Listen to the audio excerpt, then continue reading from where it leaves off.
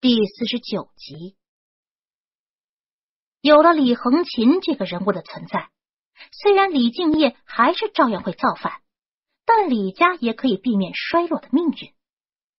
而主人公从进入英国公府开始，就要面临人生中的许多变数。他孤立无援，如同一只野羊闯入了家养的羊圈里，却凭着聪明和果决生存下来，逐渐受到重视，又得以飞出英国公府这片狭小的地方。飞向更广阔的天空。全剧从宅斗到宫斗，再从宫斗到家国天下。除了李恒琴这条主线之外，还穿插了男主角的成长经历，以及武后玩弄权谋、倾覆大唐天下的支线。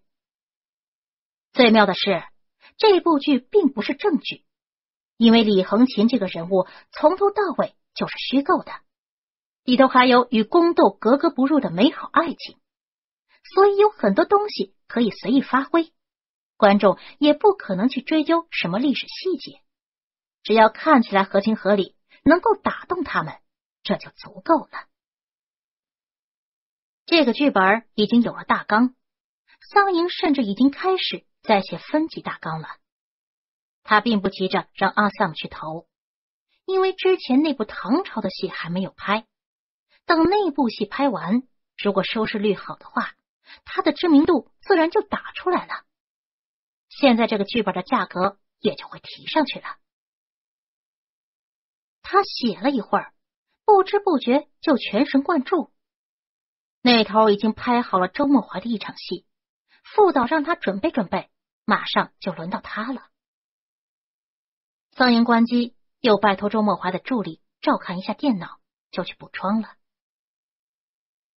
拍摄的时候不可能按照电视剧正常的进度，导演会根据演员的档期和自己的需要来调整，所以有时候很多戏的顺序都是前后颠倒的。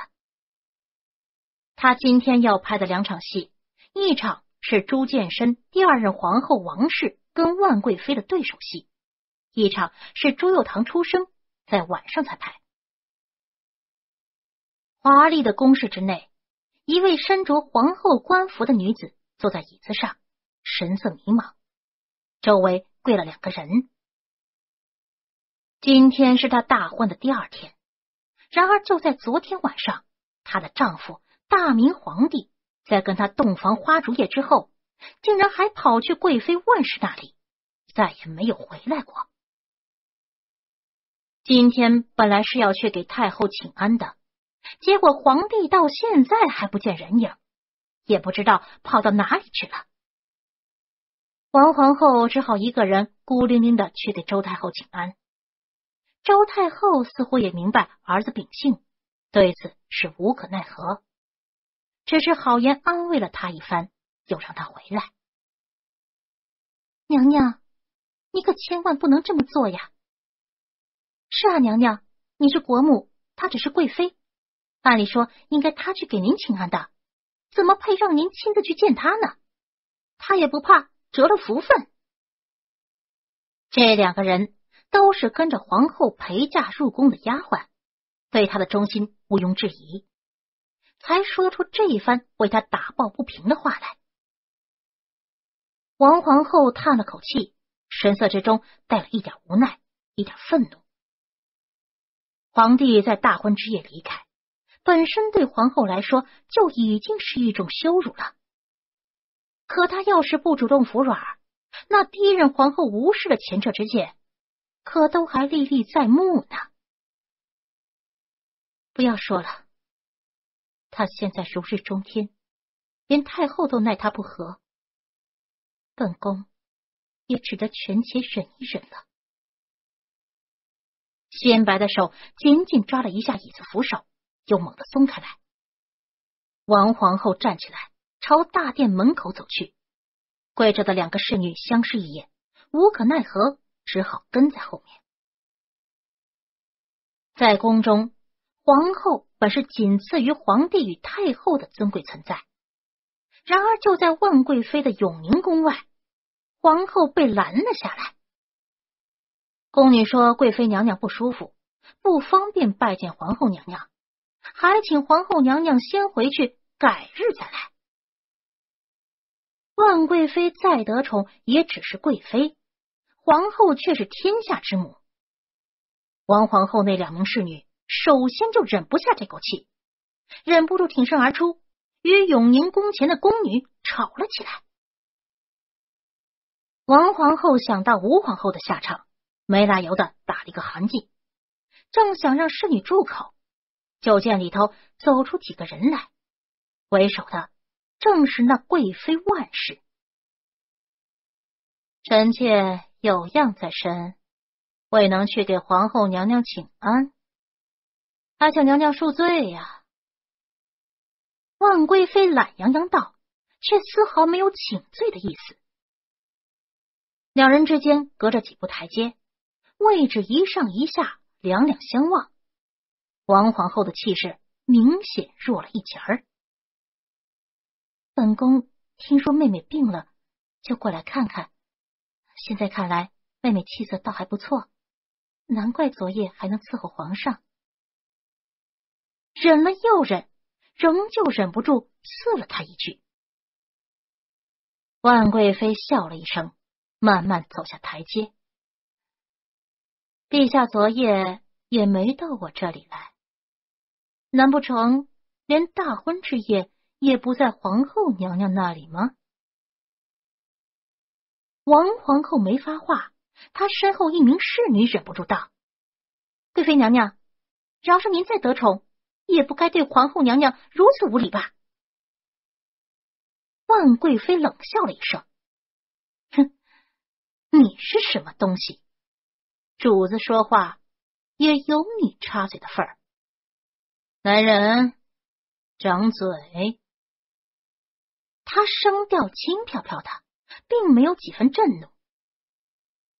皇后娘娘也太人善了，这等自作主张的宫女也敢留在身边。你既是心软下不了手，那就让妹妹我帮你教训教训她吧。话刚落音，已经有两名内侍扑上前来，将那侍女一左一右架住，另外一人举起手。就狠狠落下，一声一声，毫不留情。王皇后又惊又怒，正想让人住手，手腕却忽然被人握住。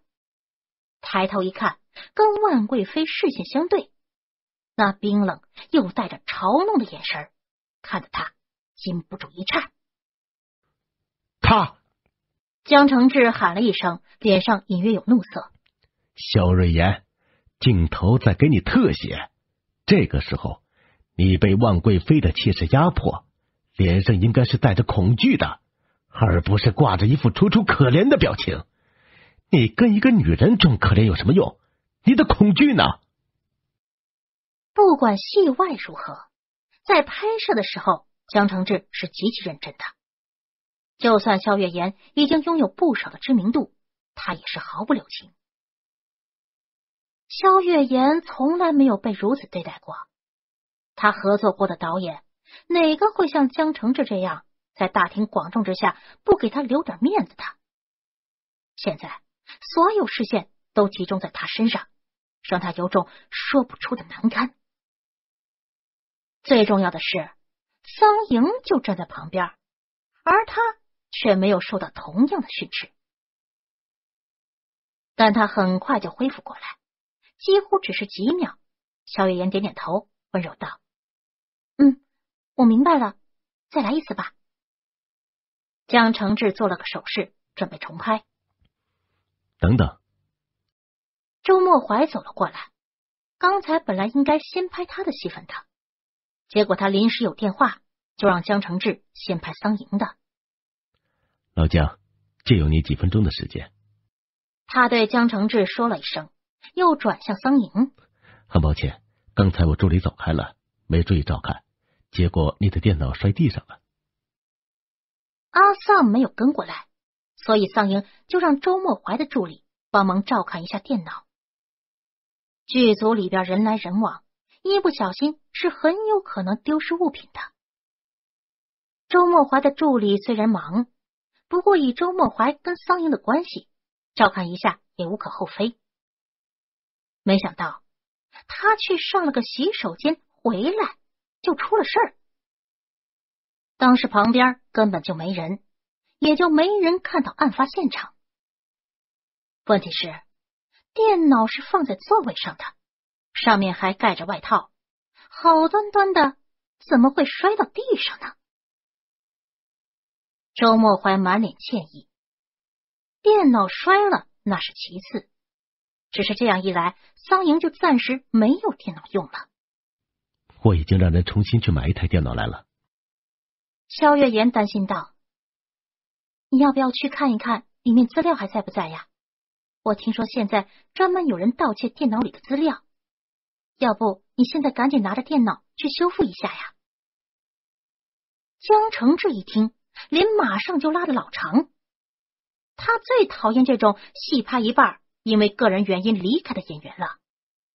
戏的进度会被打乱不说，所有演员的档期也会跟着变动，完全就是把自己的方便建立在别人的不方便上。从桑莹的角度来说，任谁碰到这种事情，起码都要先跑开去看一下电脑情况，然后。然后就没有然后了。胆敢在拍摄时间内从江导眼皮子底下溜出去干别的事情，别说以后甭想跟江导第二次合作。就算是有周末怀撑腰，桑莹也会给别人留下一个偏常耍大牌的印象。要知道，这天底下流言蜚语那是散播的最快了，尤其是在现在网络时代。桑英原本形象就不够正面，再加上这些七七八八的传闻，整个形象那就足够跌到谷底了。肖月言还在说：“我看你一直在电脑里边写什么东西，那东西很重要吧？你快去看看呀。”不用了。桑莹看了他一眼，慢吞吞道：“那电脑不是我的。”他自己的电脑出门前觉得太重，就没有带。刚好陆二那边有一款新买的轻薄型笔记本电脑，就被他直接带了过来。可怜的陆二，刚买三天还没摸够手瘾的电脑，就香消玉殒了。萧月言没想到他还留了这一手，连忙道：“嗯，那那还有你在电脑上写的东西呢。”桑英微微一笑，有人跟我说，在电脑上写东西不保险，所以我一直都是在邮箱上写的，还有后台自动保存草稿，建议你也用这个。萧月言彻底无语。桑莹又对周墨怀说道：“多谢，等我拍完这场戏再过去看看。”周墨怀看了萧月言一眼，笑道：“你好好拍吧，可别让江导失望了。”在别人眼里，能够得周墨怀亲自走过来解释一趟，还这么和颜悦色，可是天大的面子。那头江承志见桑莹不需要中途离开，脸色也好了些，挥挥手重拍。接下来的进度很顺利。也没有再出什么幺蛾子。